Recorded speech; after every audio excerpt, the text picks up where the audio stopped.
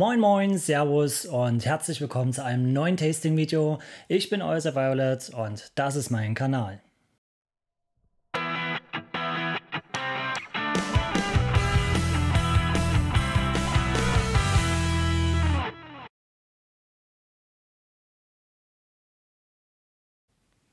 Ja, heute möchte ich euch den Artback Anoa vorstellen. Und zwar in der Barbecue Smoker Verpackung Tube Ausführung.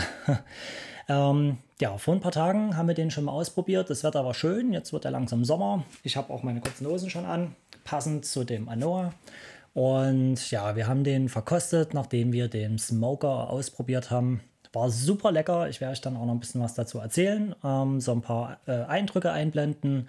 Ähm, ja, den habe ich zum Geburtstag übrigens bekommen von meiner Frau. Habe ich mich super doll drüber gefreut. War ein sehr schönes Geschenk und ja, da werde ich noch eine ganze Weile Freude dran haben. Erstmal wieder was zu Artback an sich, zu der Brennerei. Artback äh, gehört zu den Classic Malls of Scotland. Eine der größeren, bekannteren Brennereien liegt wieder auf der Insel Isla, ganz im Süden, ähm, zusammen mit Port Ellen, Lafroig, Lagavulin und Artbeck, schön aufgereiht unten an der Küste. Ist bekannt für seine Rauchigkeit, für seine Torfigkeit und eigentlich jeder, der Whisky trinkt, der gerne trinkt, kennt den oder hat eine zu Hause oder ja, der gehört einfach dazu. Ähm, ja, Artback ist auch wieder eine der etwas älteren Brennereien. Er wurde oder sie wurde, äh, ich glaube, 1794 nachweislich bereits geführt damals noch illegal von Schmugglern und illegalen Schnapsbrennern. Äh, das ging natürlich nicht ganz so lange gut. Irgendwann kam das Zollamt, die Zollbehörde, wie auch immer das früher hieß. Es gab eine riesengroße Razzia. Ähm, die Brennerei wurde gestürmt, wurde das, das, flog alles auf und dann konnte nicht mehr illegal weiterproduziert werden. Also hat man ab ungefähr, man schätzt ab 1815, ähm, legal angefangen, ähm, Whisky, Spirituosen zu brennen, was auch immer, und nachweislich ab 1817. Und seitdem wird legal Whisky produziert. Ja, die Geschichte war relativ stabil. Artback hat eigentlich ähm, fast durchgängig produziert und war bis 1969, glaube ich, 59 oder 69, ich glaube 69, ähm, übrigens noch in Familienbesitz und wurde erst später verkauft und ja, macht einen großartigen, raurigen, schönen Isla Whisky. Artback ist wieder schottisch-gälisch und bedeutet so viel wie die kleine Anhöhe. Gut, Heute will ich auch gar nicht so viel Geschichte und drumherum erzählen. Ähm, ich will es dabei belassen und schon mal auf die schöne Tube eingehen. Und zwar ist die im Stile von Grillen, Smoken, Barbecue. Also man sieht es schon. Ich finde, das ist mal ein sehr cooles Design mit dem eingeprägten Artback, diesen Löchern, was schon an einen Smoker erinnert. Ähm, ja, Etikett dazu, tipptopp. So, dann schauen wir uns heute mal den Inhalt ein bisschen genauer an. Natürlich wieder schön aus Metall von oben bis unten. Zuerst hat man hier den Smoker. Ob das jetzt, also ein Profi-Smoker wird das bestimmt nicht sein. Der ist auch schon so ein bisschen, ja, er wurde schon benutzt. Ähm, ja, der Smoker funktioniert folgendermaßen. Man hat hier diese kleine Metalldose mit diesen Löchern und hier oben mit dieser Öffnung. Wenn man das öffnet, hat man hier übrigens auch noch mal eine Anleitung. Ich hoffe, man kann es sehen. Ich hoffe, es ist nicht allzu unscharf. Ja, man hat da noch mal eine Anleitung drin, wie das funktioniert. Falls man es nicht genau weiß, ist das alles schön bebildert und ähm, ja, lässt sich kilometerweit auffalten. Da gibt es auch noch ein paar Infos zu dem Whisky und eben die Smoker-Anleitung, Sicherheitshinweise etc., was dazugehört. Ja, wie funktioniert das nun? Ähm, ihr nehmt einen Grill mit Deckel und heizt den erstmal an. Ihr macht Kohle rein, lasst den erstmal durchglühen, wie man das bei einem normalen Grill macht. Und dann braucht man natürlich noch zum Smoken irgendwas, was ja den Qualm, den Rauch produziert. Den gibt es nicht dazu, den muss man extra bestellen. Das habe ich mal hier. Da gibt es direkt von Weber, bekannte Marke für Grill und Barbecue. Ähm, Hickory Wood Chips mit der Artback Banderole. Also die haben da irgendwie ähm, eine Kooperation am Laufen. Man bestellt oder Weber produziert, Artback vertreibt mit, macht Werbung mit. Ja, kostet auch gar nicht so viel, die Holzchips. Ich glaube, für, den, für die Packung habe ich, wie viel war es denn? 6, 7 Euro bezahlt, 5 Euro noch was, also 6 Euro. Ähm, und was ist drin? Das sind diese Holzchips. Ich zeige es euch mal. Sieht so aus. Sieht ein bisschen aus wie so getrocknete Pilze. Ich stelle das mal hier so daneben. Ein bisschen aus wie so getrocknete Pilze. Das ist eigentlich nur ja, Holzspäne, Holzraspel. Vielleicht könnt ihr es so besser sehen. Ähm, an sich riechen nach nichts. Riechen ein bisschen nach Holz, wenn man dran riecht. Ansonsten mehr auch nicht. Davon nehmt ihr eine gute Hand, natürlich ein bisschen mehr, als ich jetzt hier habe. Gebt das in den Smoker. Und wenn der Grill schön heiß ist, nehmt ihr das ganze Ding und stellt das einfach auf das Grillrost. Direkt, wenn ihr jetzt hier den Grill habt, zack, aufs Grillrost und lasst das dort ungefähr bei geschlossenem Deckel eine Viertelstunde bis 20 Minuten stehen. Ähm, ja, der Grill fängt an, sich mit Qualm, mit Rauch zu füllen, riecht auch super lecker, riecht super gut. Und wenn es dann soweit ist, ähm, lasst ihr das Ding einfach weiter drauf stehen, legt euer Grillgut daneben, was auch immer ihr wollt, Steaks, Bratwürste, Fleisch, Gemüse, ja, ähm, Käse, was man halt so grillen kann und ja, grillt das dann, macht immer mal einen Deckel zu, dass der Rauch, der Smoke ähm, auch ein bisschen auf das Grillgut einwirken kann. Und es war echt lecker. Also wir haben einen Teil davon ohne Smoker gemacht. War lecker. Ein Teil mit Smoker und man schmeckt es wirklich.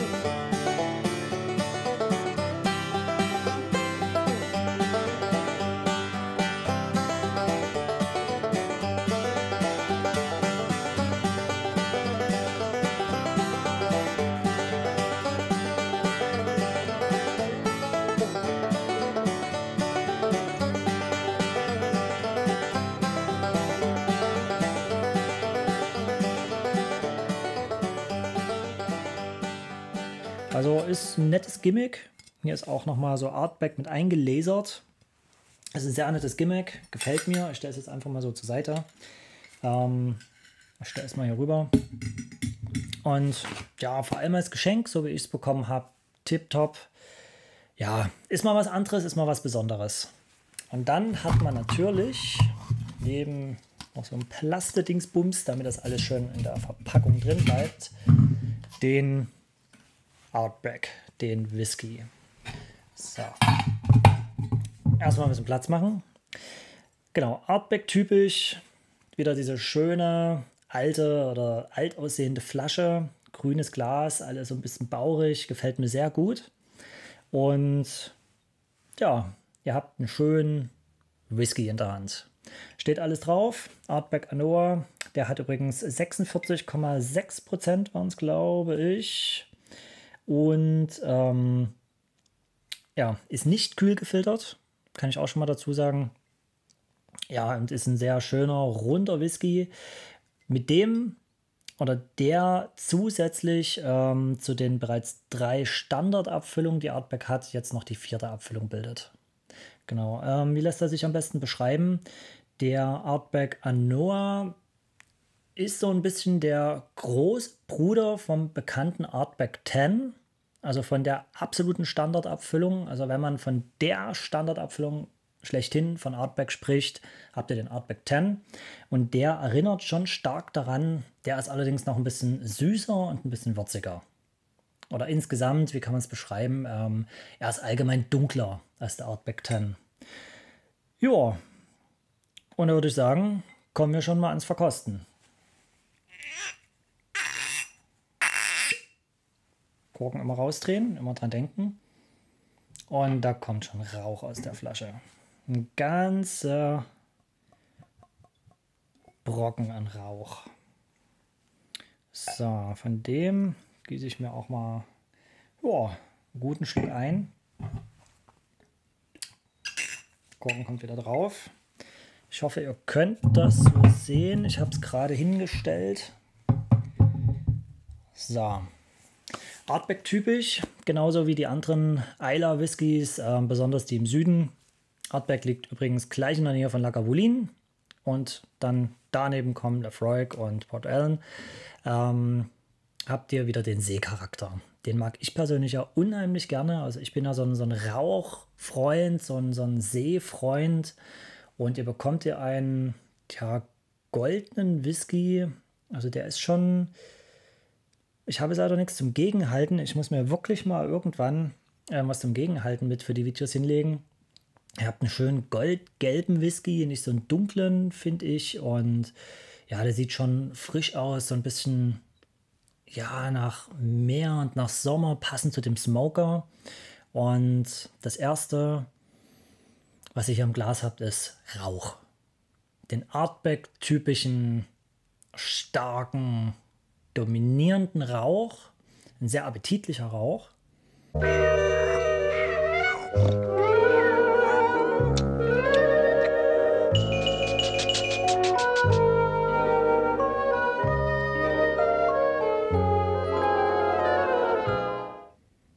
Genau. Der steigt sofort in die Nase die 46, jetzt muss ich doch nochmal nachgucken, wie viel es denn jetzt genau gewesen sind. Ja, 46,6 lag ich doch richtig. So, nicht, dass ich euch was Falsches erzähle. Die 46 Prozent hat man auch wieder nicht in der Nase. Also das ist auch auffällig bei diesen ganzen ähm, Isla-Whiskys, die ich auch bisher schon vorgestellt habe. Äh, man hat nicht so diesen, diesen beißenden, kalten, stechenden Alkoholgeruch in der Nase. Also man merkt es schon bei 46 Prozent. Ganz weg ist er nicht. Aber der ist wirklich sehr weich. Neben dem Rauch hat man auch noch dunkle, fruchtige Noten. Ich würde sagen, man hat sowas wie Datteln oder, oder auch Rosinen. Anis ist dabei. Und allgemeiner so eine cremige Note, sowas wie Toffee, würde ich sagen. Was Toffee-artiges, samtiges. Was sich sehr schön übrigens ergänzt. Also ich mag gerne so, so Gegensätze, dieser, dieser Rauch, dieser, dieser Meerescharakter, gepaart mit diesen dunklen Früchten und dieser Süße. Also Artbeck hat ja auch nach meinem Empfinden immer eine, eine ganz bestimmte Süße dabei. Also da, also da hat man immer so, so ein bisschen so diese, diese zwei großen Blöcke, so dieser Rauch und diese, diese, diese Süße, diese samtige Süße. Gefällt mir sehr, sehr gut. Wirkt sehr ausgewogen, sehr rund, sehr abgestimmt. Riecht so ein bisschen wie, wie Sommer am Meer.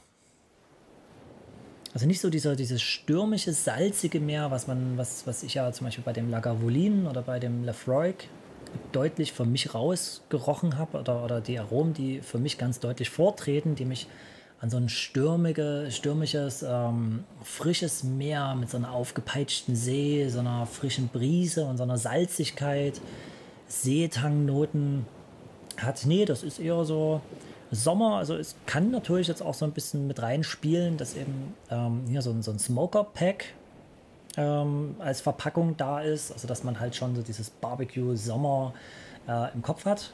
Aber für mich persönlich ähm, liegt das auch in den Aromen mit drin. Ich bin am Strand, am Meer. Ich habe da ein Lagerfeuer oder eben vielleicht so ein, so ein Smoker Er macht so ein schönes Barbecue. Datteln sind dabei.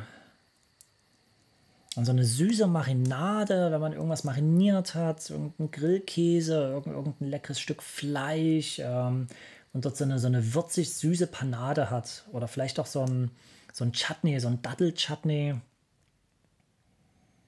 Und wenn man ein bisschen länger noch riecht, hat man auch so eine ganz leichte Fruchtnote. Hat man vielleicht noch sowas wie irgendeine Zitrusfrucht, eine Orange oder eine Mandarine, die kann ich aber nicht ganz fassen. Also man hört immer von einigen, dass da eine Orange drin ist. So genau könnte ich das jetzt nicht greifen. Aber definitiv hat man da noch irgendwo irgendwas Fruchtiges dahinter mitschwingen. Genau. So ein schönes Barbecue mit so einem rauchigen Grill, so einem rauchigen oder überhaupt so einem Smoker. Am Meer, es ist warm. Hat so ein fruchtiges Chutney, Barbecue, Soße dazu oder irgendeine leckere Marinade.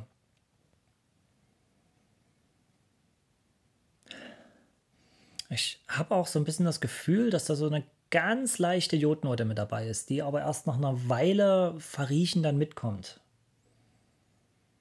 Aber im Großen und Ganzen Rauch, eine samtige Süße und dunkle Früchte. Ja, in dem Sinne würde ich sagen, Cheers.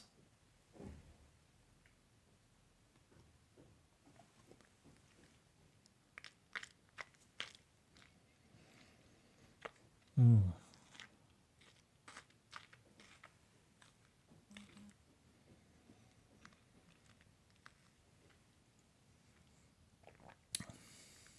Wahnsinn. Also hier habe ich auf jeden Fall ganz viel Rauch, einen ganz starken Speichelfluss. Die 46 Prozent bringen noch einiges an Druck auf der Zunge mit, auf die Zunge mit. Und der Rauch hält sich wirklich sehr lange. Und vor allem für, für Rauchfans, so wie mich, absolut super. Was hier noch auf jeden Fall mh, mm, sofort mitkommt, ist auch eine Würzigkeit. Also definitiv eine ganze Ecke an Gewürz, an Würze. Ähm, so, so ein bisschen pfeffrige Schärfe. Ich würde sagen, also Richtung roter Pfeffer. Mhm. Jetzt habe ich auch so ein bisschen die Orange noch mit. Also hier habe ich ganz viele Noten, die ich jetzt auch wirklich versuche. Also ich merke, die sind da und die muss man sich dann so rauspicken. Also man muss sich echt da ein bisschen Zeit lassen. Asche ist dabei, so Zigarrenrauch, Zigarrenasche. Hm, ja, eher doch so der Rauch, wenn man. Ja, doch eher so Zigarrenrauch. Hm. Und am Ende kommt jetzt noch so ein bisschen was Schokoladiges mit dazu. Hm, sagen so Richtung Milchschokolade, nicht allzu süße Milchschokolade, sondern so ein bisschen was cremigeres, die nicht frisch aus dem Kühlschrank kommt, sondern schon so bei Raumtemperatur eine Weile da lag. Und was ich ja auch wieder habe, das hatte ich ja beim Verriechen schon, so eine Anisnote. Aber auch nicht penetrant, also man hat jetzt hier nicht irgendwie so ein Kräutertee-Anis, ähm, sondern wirklich so ein, ja, so ein Aroma, so ein leichtes Aroma. Und man hat so den Geschmack wie schwarze Teeblätter riechen. Oder generell so Teeblätter. Ich würde schon sagen Schwarztee, also schwarzer Tee. Hm. Genau, und so wie die riechen, bevor man die aufgebrüht hat, so schmeckt das. Also einen Geschmack hat man noch mit. Also ganz viele Aromen, die hier alle auf einmal kreisen und die man sich picken muss. Was auf jeden Fall ganz am Anfang ganz klar da ist, ist der Rauch, die Würze und dann kommt so der ganze Rest. Super. Der Abgang, hm, ich würde schon sagen, der Rauch hält sich sehr lange. Also ich habe den noch ganz klar auf der Zunge. Ich habe den, ich kann den immer noch greifen. Und ansonsten nur mh, hm, immer noch so ein bisschen Anis. Der Rest ist weg, die Süße ist weg, ähm, die Würzigkeit, die ist jetzt auch ganz schnell mh, hm, vergangen. Aber der Rauch und der Anis, die, die bleiben, die liegen immer noch im Mund. Also den kann man wirklich, da kann man sich ganz viel Zeit lassen. Und allgemein vom, vom Geschmack her, aber auch vom Abgang her ist er auch sehr weich. Ähm, also es ist ein schöner, runder Whisky, hm, der viel bietet. Ich würde sagen, er ist jetzt auch nicht die Offenbarung. Also nicht, dass man, also dass ihr jetzt denkt, das, was ich beschreibe, das ist der Whisky schlechthin, besser geht's gar nicht. Das ist so der Über-Whisky, die Ausnahmeerscheinung, vor allem äh, für unter 100 Euro. Ich glaube sogar für unter 50 Euro, so oder um die 50 müsste der jetzt liegen. Da bin ich mir jetzt nicht ganz sicher. Es war ja auch ein Geschenk.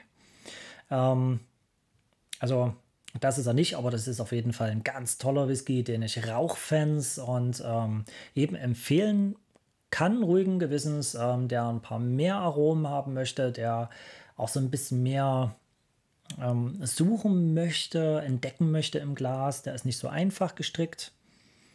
Also top. So, beim zweiten Verriechen, ich, ver, ich verkoste ja immer zweimal so nacheinander, ist der Rauch gar nicht mehr so präsent. Also der Rauch, der hat jetzt ein bisschen abgenommen, er ist noch da. Er ist jetzt fruchtiger geworden, süßer. Ich habe jetzt hier auch so eine Eiche mitschwingen, so eine Eichennote. Eine, sagen schon so Datteln mit Zitrusfrüchten, so Datteln, Orangen. Also jetzt würde ich schon so Richtung Orange tendieren. Hm. Er geht so ein bisschen, erinnert er mich, beim zweiten Verriechen erinnert er mich ein bisschen an den zwölfjährigen Banner Heaven. Nur halt noch ein bisschen rauchiger. Ähm, ist jetzt auch keine Kopie davon, aber er geht so in die Richtung. Süß, cremig, dunkle, getrocknete Früchte, also Datteln, äh, Rosinen.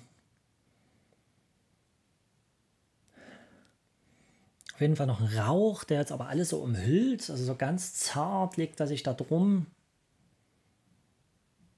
So eine Anisnote, die ist auf jeden Fall immer noch dabei. Also diese Anisnote ist jetzt nicht penetrant, aber die zieht sich durch wie so ein, so ein, so ein roter Faden. Ja, das lernt ja.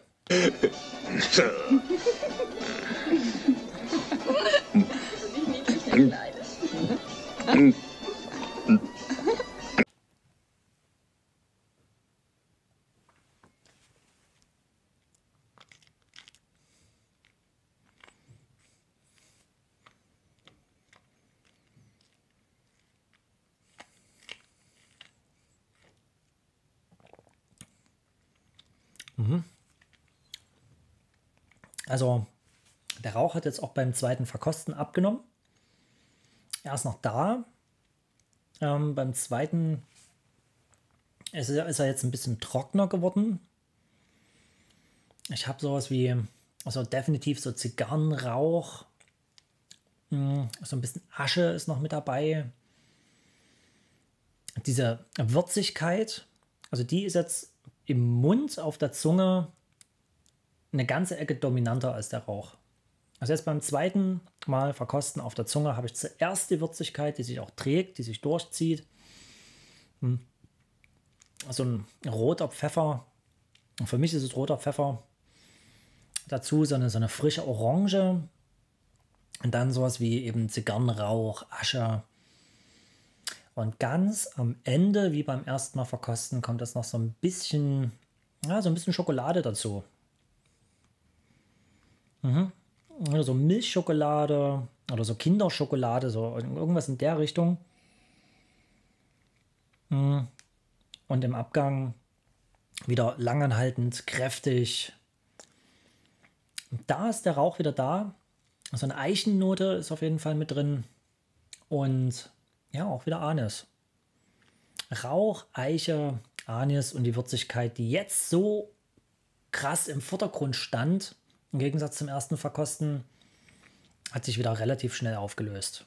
Also daran, hm, daran kann man wirklich eine ganze Weile viel Freude haben an einem Abend, wenn man ein etwas volleres Glas hat, sich Zeit lässt, hm, wenn man vielleicht sich auf die einzelnen Aromen konzentriert, also dieses was pick ich mir so nacheinander raus und dann wirklich versucht, die einzufangen und irgendwo ähm, wirklich rauszuschmecken, wirklich Punkte rauszuschmecken und ja, ist wirklich, ja, ist gut. Mehr kann man da gar nicht sagen. Also mehr braucht man da auch gar nicht sagen.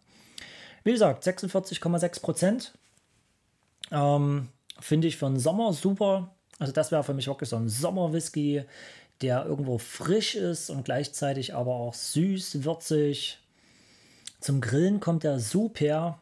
Ich habe es ja vorhin schon erzählt, wir haben das jetzt ähm, vor ein paar Tagen am Wochenende haben wir das angetestet mit dem Smoker. Ähm, haben uns dann einen netten Abend gemacht mit der Familie. Und nach dem Grillen haben wir dann auch den Artback geöffnet, verkostet. Und ja, hat super gepasst. Man sitzt im Garten, schöne, warme, frische Abendluft. Ähm, man ist satt, man hat ja was Schönes gegrillt.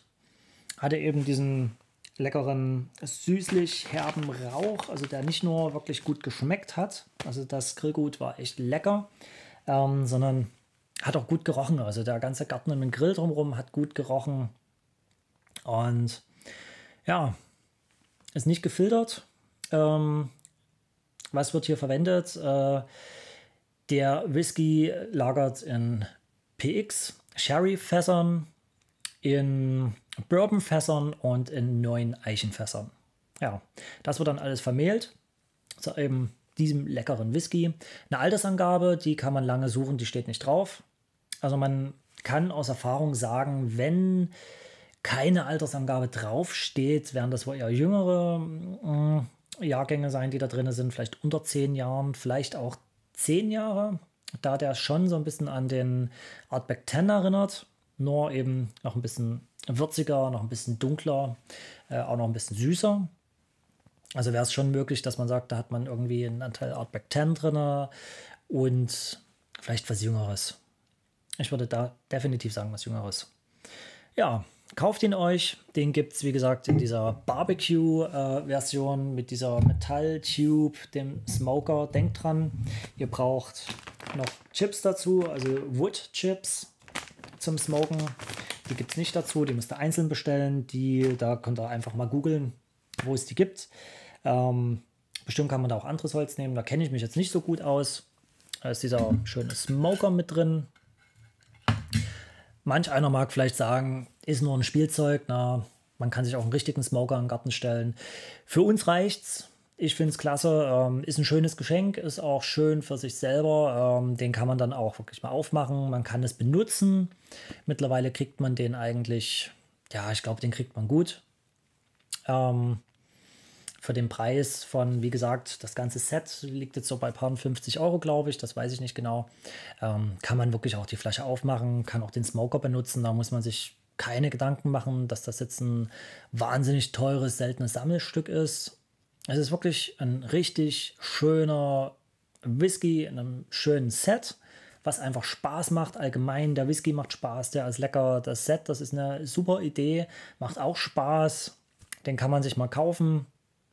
Ähm, das kann man sich mal kaufen. Wenn man jetzt zum Beispiel einen Garten hat oder irgendwo eine Grillstelle, irgendwo in der Natur gibt es ja öffentlich ausgewiesen oder ihr seid mal zum Grillen eingeladen, habt eine Terrasse, was auch immer, dann bringt den mit, nehmt den mit oder ladet Freunde ein, stellt den auf den Tisch und sagt so, heute wird gesmoked. Ähm, Barbecue und dann eben in geselliger Runde den leckeren Whisky verkosten. Aber was für Einsteiger ist oder nicht, hm, das ist jetzt eine wirklich schwere Frage. Er hat viele Facetten, viele Aromen. Ähm, einige sind ein bisschen klarer definiert, einige muss man suchen, einige, keine Ahnung, findet man vielleicht, wenn man gehört hat, was da drin sein soll. Das kann man auch mal ganz ehrlich sagen. Ähm, also auch bei Profis, die lange verkosten, die Ahnung haben, ähm, wenn man, es ist einfach menschlich, wenn man dann irgendein Aroma in den Raum wirft, dass man sagt, hier ist das drin, ich habe das jetzt gefunden, da fängt man an zu suchen und oftmals hat man es dann. Und wenn man das nicht gesagt bekommen hätte, wäre es einem gar nicht aufgefallen. Nee, aber ja, wie gesagt, probiert's, kauft euch, den gibt es eben in diesem Set, den gibt es aber auch ohne Set, also den gibt es nur in Flasche und so einer Papptube, in so einem, so einem Pappkarton. Ähm, wenn ihr euch jetzt vielleicht nochmal eine Flasche kaufen wollt, dann müsst ihr euch ja nicht einen Schrank oder was auch immer mit diesen Metalldingern vollstellen. Kauft ihn euch halt in dem Set. Wenn er leer ist, dann einzeln. Ähm, ja, wird zur Standardabfüllung einer der Standardabfüllungen ähm, von Artback. Drei Stück hat er ja schon oder hat die Brennerei ja schon. Das ist jetzt die vierte. Ähm, erinnert an den Artback 10. Wie gesagt, ein bisschen dunkler, ein bisschen süßer, ein bisschen würziger. Und ja, viel mehr brauche ich dazu nicht sagen. Viel mehr gibt es auch gar nicht dazu zu sagen. Kauft ihn euch, probiert es aus, schreibt mal in die Kommentare, an was euch der erinnert, ob ihr den Smoker mal ausprobiert habt. Ja, ansonsten hoffe ich, euch hat das Video gefallen. Ich habe mich heute vielleicht ein bisschen kürzer gefasst. Ähm, ich habe euch vielleicht Lust gemacht auf den Artback Anoa. Wer weiß, wenn ja, schreibt es mir. Wenn ihr den schon kennt, dann schreibt mir rein, was ihr alles da noch an Aromen gefunden habt. Und ja, ich würde mich auf jeden Fall über einen Daumen nach oben freuen für das Video. Über ein Abo würde ich mich super freuen. Schreibt mich an, gerne als Direktnachricht, gerne in die Kommentare. Folgt mir auf Instagram, da habt ihr noch ein bisschen mehr Content von mir, auch zu meinen anderen Hobbys und ähm, ja, auch Sachen, die nichts damit zu tun haben. Sepp-Violet. Und ja, in dem Sinne, schmecken lassen.